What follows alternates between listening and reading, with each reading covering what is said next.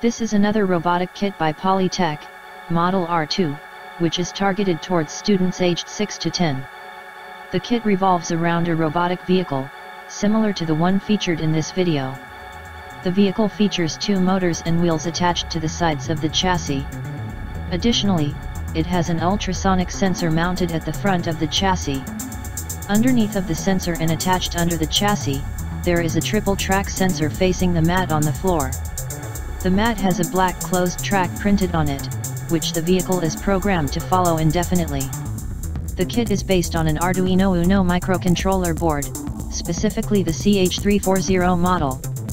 For the purpose of this video, programming was done using the Mind Plus programming environment application. The video will also showcase glimpses of this programming.